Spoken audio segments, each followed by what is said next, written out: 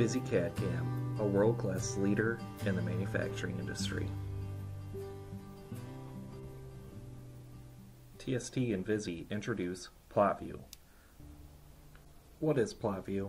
PlotView is a command that allows you to create views, sections, and enlarge details of the models slash assemblies and place them into a drawing. The dialog box is divided into tabs for specific actions, for example, view creation, sections, selection, and more. So I have a file example here, which I'm going to go into Plot View. The first tab we're going to go into is the General tab. This is where you'd manage pages. So I can add or remove pages, which I just did here. I can change the scaling, change the page name, and change the paper size. Each of the letters represent a different paper size. So what I'm doing now is I'm loading a mask. I can also update a mask from the same tab. So in here I added my mask. I'm going to go into the View tab where I can insert individual views. I'll choose a top view and I'm going to change the size of it so that way it fits into my mask. So once I've placed it into the mask, I'm going to update it with the relevant information.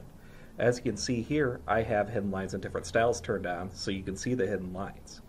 So once I've done that, I'm going to update my mask. I'll choose the mask first, and then I'm going to choose my view, and you'll see it updates with the relevant information. It's pulling this data from the layer management and the assembly manager information. Now we're going to go into multi-view. This is used for creating up to four views at one time.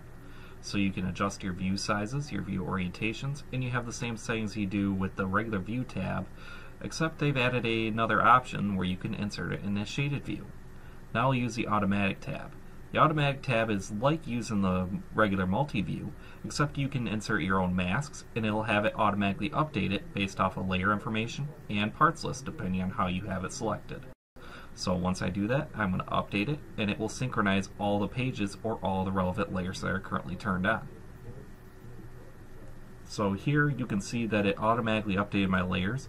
You can see in these details that it has the auto dimensions for the X, Y, and Z, and as you can see it updated everything it could based off the layer information.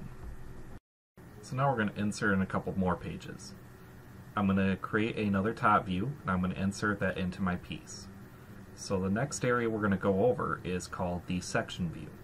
The section view is used for cutting a section into our part so that way we can see the inside of our part. So for right now, I'm going to select the part, select the section. I can choose a direction for where that section is going, and I can cut that piece in that certain direction. I have a few different options I can change in here, so I could choose from a fixed section, a variable section, or a profile section. I'll go to the next page now, and we're going to go over the selection view. As you can see, everything is turned on, but in the selection view, I can turn on and off certain layers, parts lists, or groups to only enable certain items. This can help me create some unique views based off of our specific layers, much like how the layer management works in 3D as well as the attributes and visibility. So as you can see, I'm working with both layers and parts lists to do this. Next we're going to go over to the Save tab. Save tab allows you to save your individual plot view pages. It gives you a few choices of how you're going to save these, so in here you can select multiple different pages, you can select relevant pages, or you can do it by current page. So under save mode, these are where these settings are. You have a few different options for being able to save these. You can save them out into folders. You can save them out as different file types, for example, VISI, DWG, DXF, IGES. So I'm going to save these out into a specific folder here, and I will open those up in VISI so you can see them shown. So as I launch these in VISI, it will open them up automatically into the plot view atmosphere, so that way you see your 2D detail where it should be.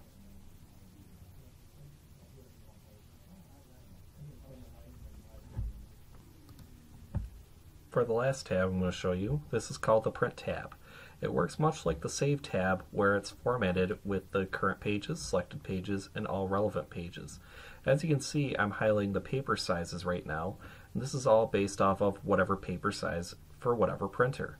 The printers it's looking for is based off of the Windows printers. So as you can see right now I'm going to select current printer. I'm going to look at the paper size I am referencing. In this case I'm going to choose Adobe PDF so you can see a preview of what this is going to look like instead of printing to a normal printer. So when I hit print, it actually goes to a save module and it gives me the ability to print it. So when I'm printing it, it's actually going to open up in Adobe Acrobat and you can see the preview. If you have any questions or would like to see a live demo, please contact TST Software at 248 922 9293 or email us at sales at tst-software.com.